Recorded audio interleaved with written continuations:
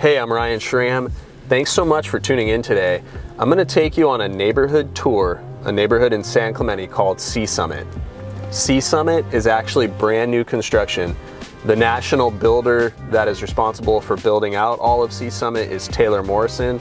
They're a renowned home builder, and uh, if you check them out online, they actually have pretty good feedback, um, and they're building a really good product from 2010 till today. They've been doing really well on their builds. So Sea Summit, more specifically in San Clemente, is right around 313 to 320 homes in four distinct neighborhoods. So we're in the Aqua neighborhood right now. That's where we're gonna start out. That is uh, comprised of their courtyard homes.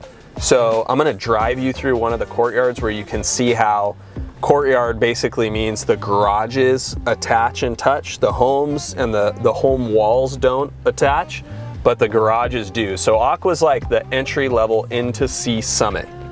And I love the, when I went through the models, I love the Aqua floor plans.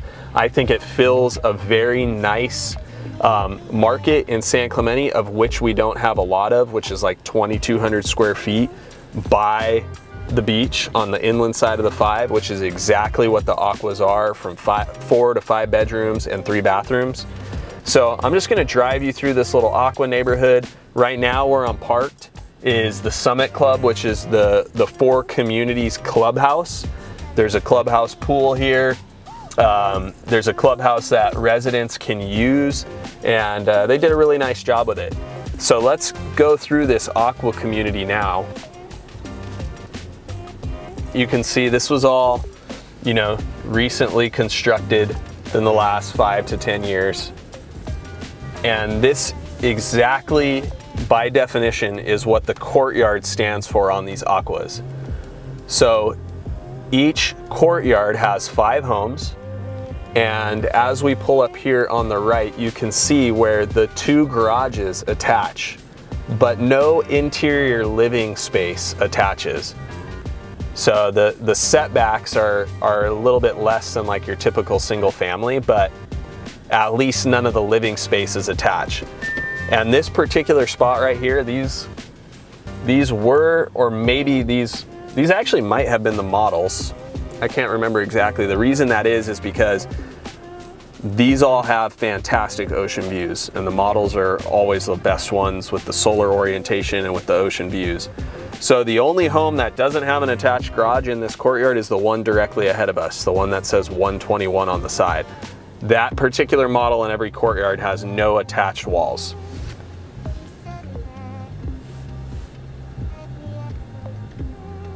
So aside from maybe what some would say is like a slight drawback in this courtyard layout, these are fantastic floor plans. I find them to be really great for um, all demographics really. Great entertaining homes, open concept living, tons of uh, tons of space and rooms and bathrooms if you're if you have a family or if you just want to entertain guests. And it's quiet in here. I mean, we're inland of the five. Um, the closest beach access, and we should run some B-roll right here of North Beach. So you've got North Beach where the San Clemente Trail starts and heads south from there towards the pier and the south side beaches.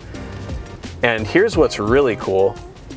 When the developer acquired this land, the city of San Clemente had some requirements for the developer. They had to set aside a ton of preserved land and they needed to make it accessible to the public. So the trail network in here um, in Sea Summit is actually really cool. People just drive here and park to walk the trail network and you can just make one quick crossing across PCH and sync up with the San Clemente Beach Trail. So it's, it's very cool from that perspective.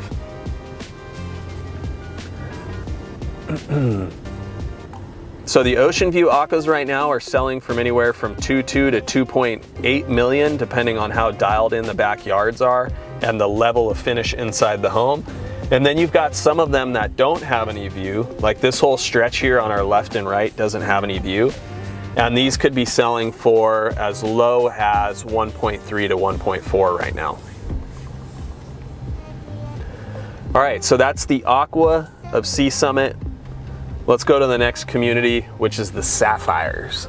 Okay, so I just pulled up to one of the coastal access points, the, the trail network that I was talking about. And this is a spot right here where you can just basically walk to the beach. And if you look down and we zoom in over this preserve space, you'll get a really a good idea. There's a little reservoir, like a little lake down there, very small. I would call it a pond more than a lake, but it's kind of gray today and there's still really nice ocean views. Like that's all ocean out there. And, and then just open space. Nothing's ever gonna be built there. So I know the camera's not picking it up, but there's all these beautiful um, pelicans and seagulls and there's a ton of bird life and wildlife. And that was the whole point of why the city said this needed to be you know, kept preserved land. There's only 313 home sites in this huge development.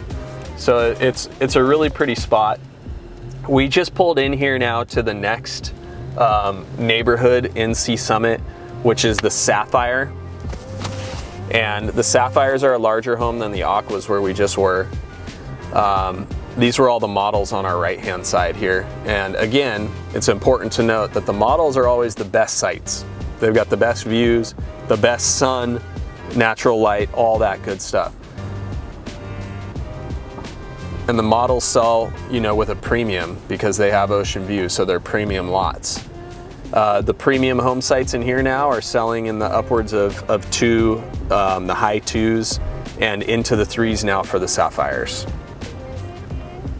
Several different floor plans available.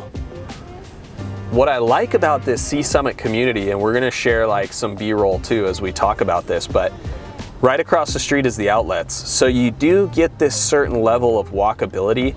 Um, the outlets now are pretty established. It was kind of slow to go, but now all the spaces, pretty much all the restaurant spaces and everything are taken up. And there's some really good eateries in there. Here's another trailhead location. Call this Ocean View Park. So anyways, if you, you know, if you want a walkability and you're not necessarily looking to be in the old San Clemente, but a newer pocket, 2013 built homes, Sea Summit is a great option for you to consider. It is important to note that Sea Summit has Mello-Roos. Um, check out this video that I'm gonna link up here for you on Mello-Roos and how that works. But the overall tax rate for Sea Summit is right around 1.9%. So a home without Mello-Roos, 1%. Sea Summit with Mello-Roos, at the end of the day, it's gonna be right around 1.9%.